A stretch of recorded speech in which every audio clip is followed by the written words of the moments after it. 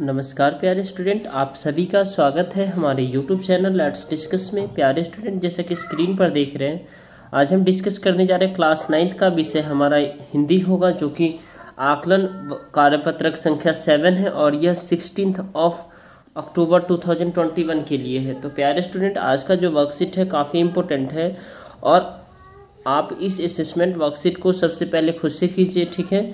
इसके बाद आप क्या करेंगे डियर स्टूडेंट इस यहाँ से आप आंसर मिलाएँगे राइट तो चलिए हम स्टार्ट करते हैं। चलिए तो निम्नलिखित गद्यांशों को पढ़ कर, कर नीचे पूछे गए प्रश्नों के विषय विकल्प के सामने गोली या पेंसिल करने हैं राइट तो चलिए हम इससे स्टार्ट करते हैं प्यारे स्टूडेंट वह नेपाल से तिब्बत जाने का मुख्य रास्ता है यानी नेपाल से तिब्बत जाने का मुख्य रास्ता मेन रास्ता बता रहा है ठीक है?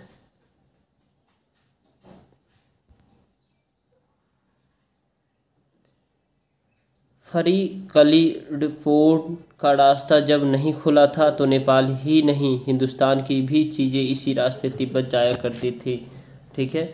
यह व्यापारी ही नहीं, सैनिक रास्ता भी था। इसीलिए जगह जगह पर फौजी चौकियाँ और किले बने हुए हैं, जिनमें कभी चीनी पलटन रहा करती थी। आजकल बहुत से फौजी मकान गिर चुके हैं। दुर्ग के किसी भाग में जहाँ किसानों ने अपना बे बसेरा बना लिया है, वहाँ घर कुछ आबाद दिखाई पड़ते हैं। ऐसे ही परित्यक्त एक चीनी किला था। हम वहाँ चाय पीने के लिए ठहरे। तिब्बत में यात्रियों के लिए बहुत सी तकलीफ़ें भी हैं और कुछ आराम की बातें भी। यानी तिब्बत में जो लोग हैं, वहाँ उन्हें समस्या भी होता है और वहाँ आराम भी होता है। वहाँ जाति पाति छुआछूत का सवाल ही नहीं। यानी वहाँ कोई भेदभाव नहीं होता है ठीक है? और न ही औरतें पर्दा ही करती यानी नहीं औरतें जो है ना, घूंघट करती है, ठीक है? बहुत निम्न श्रेणी के भिखमंगे को लोग चोरी के डर से घर के भीतर नहीं आने देते हैं, नहीं तो आप बिल्कुल घर के भीतर चले जा सकते हैं। ठीक है? सिर्फ़ निम्न श्रेणी के भिखमंगे को आने नहीं देते, बाकी आप घर के भीतर तक जा सकते हैं, ठीक है?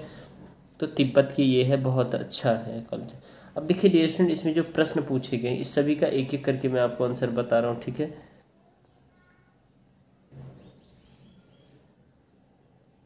क्वेश्चन नंबर फ़र्स्ट है निम्न श्रेणी के विकलांगों को तिब्बत के लोग घर में क्यों नहीं आने देते?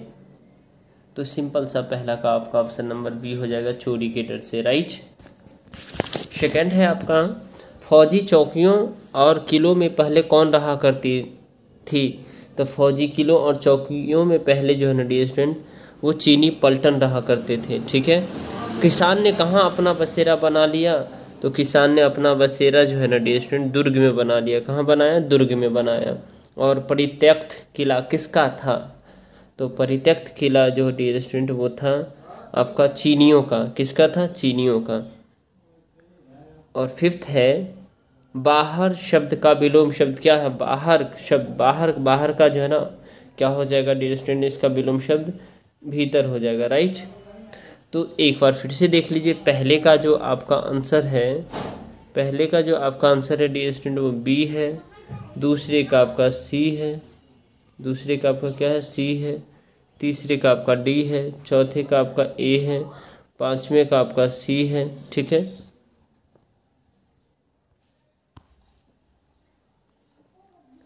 छठा देखिए, प्रत्यक्ष शब्द में उपसर्ग और मूल शब्द को अलग कीजिए। तो इसमें जो उपसर्ग और मूल शब्द है डी छठा का ए हो जाएगा, राइट? उसके बाद व्यापारिक शब्द में मूल शब्द और प्रत्यय होंगे। व्यापारिक शब्द में मूल शब्द और प्रत्यय कौन सा है? ये डी है। ठीक है? व्यापार और इक। रास्ता शब्द का समानार्थी शब्द होगा। रास्ता शब्द का समान अर्थ वाले शब्द कौन सा है स्टूडेंट तो ये बी होगा, राइट? इन शब्दों में से तत्सम शब्द चुनकर लिखे तत् तत्सम शब्द आपको बताना था, इसमें तत्सम शब्द हो जाएगा, दुर्ग हो जाएगा। ठीक है? और गिरह और भवन शब्द किस शब्द का पर्यावाची शब्द है? तो गिरह और भवन शब्द जो डियर स्टूडेंट ये है आपका पर्यावाची शब्द। ये आपका ए है, यानी घर का पर्यावाची शब्द है राइट तो एक बार फिर से देख लीजिए प्यारे स्टूडेंट इस सभी का। यानी सिक्स का आपका ए ऑप्शन है सेवन का आपका डी ऑप्शन है एट्थ का आपका बी ऑप्शन है नाइन्थ का आपका सी ऑप्शन है टेंथ का आपका ए ऑप्शन है।